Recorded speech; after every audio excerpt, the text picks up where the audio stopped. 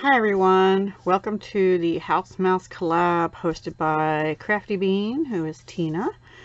Um, sorry I'm a little late today, but I wanted to get this up for you because it is due today. I have two cards for you today. Um, because it's fall and because we're coming to Halloween, um, I did one of each. So this is my first one. Um, this was one of my new stamps that I just got called, I don't know, Acorn Cap. I'm pretty sure I got it at um, scrapbook.com because it's got the back stuff on it.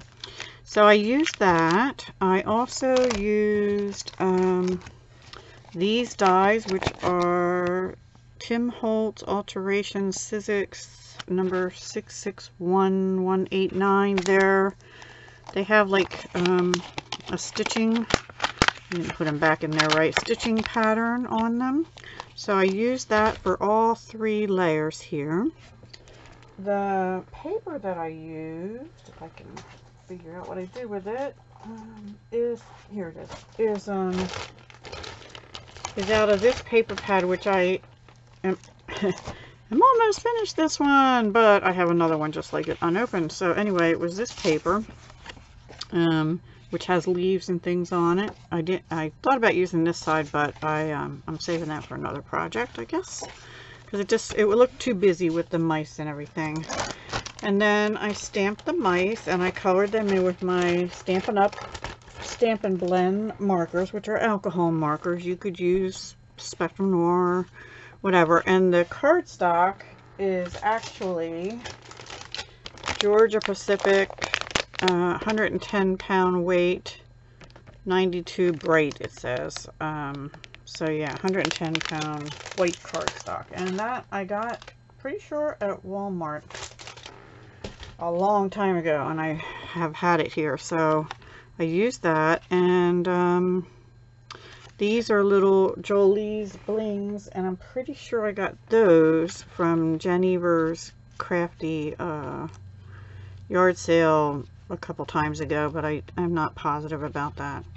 And then this is the copper braided trim um, from Stampin' Up! And I just wrapped that around this piece, which is this.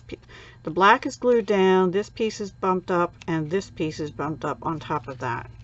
And then inside, I used the same dies, and I stamped this um, wishing you a beautiful autumn season out of what did I do with those? Oh goodness me. Hang on. Um, and this leaf these this leaf is too and I stamped that in um, Cajun Craze and uh, what is the other one? Crushed curry. But then I colored them in with pumpkin pie and crushed curry and a little pumpkin pie here and on the front these leaves are colored in with real red. I actually um, outlined the veins in old olive dark and then I colored them in in real red pumpkin pie and crushed curry but I mixed the colors a little bit on each one. So this has a little bit of pumpkin pie and crushed curry in the red. This has um, the the crushed curry and the pumpkin pie and so does this this is more pumpkin pie and this is more crushed curry. So that's what I did on those. Um, I think that's about it on that one. So I think it came out cute.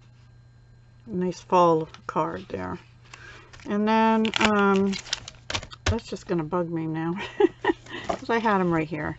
So on this one, yeah, aren't they cute? No, that one I don't believe I had before. I don't have it in my fall bin here. Or Halloween. Um, this one, you can't really see it. You can maybe see it better inside. This piece here, uh, you're not going to be able to see it.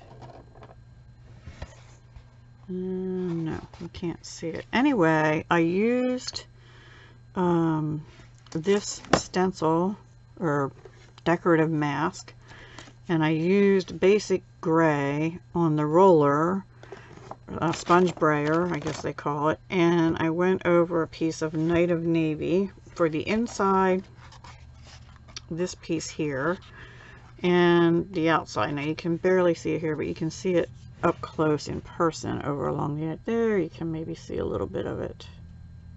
Okay. And then I wrapped this um, crushed curry seam binding ribbon from Stampin' Up around that Night of Navy. That is Night of Navy. And this is the Stampin' Up Basic Black. And then this has crushed curry on top of that. And then this one, I stamped it, I colored it, and uh, this is all colored with the Night of Navy, the light Night of Navy alcohol marker. And for the moon, I wanted it to look like it had a ring around it. So I actually put a thin strip with my chalk marker around it, but I didn't feel like it was enough, so I took the color remover Stampin' Blender and I went around the whole moon with that and it sort of made it stand out a little bit and I thought that looked pretty cool. And then I also used the chalk marker a little bit on the paws and um, the faces of the cats a little bit in here, but then I went over it with the light black. Um, so yeah, not my best coloring job, but it'll do. And I have a little weight tip on the end of that one. This one is sort of gray on the tip. And there's the little mousey sitting right up there. So I thought that was cute. And it says, have a perfect Halloween. And that came out of this that I just got. Hero Arts Poly Clear. It's right there. And that is a uh, layering circle in basic black and it was this one here the scallop layer. Here's the seam binding uh, ribbon. It's actually called crinkled seam binding ribbon. And here's the little stamp.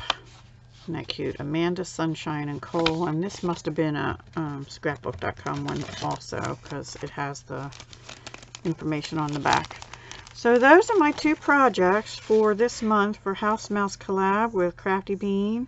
I'll put links to everyone participating down below the video.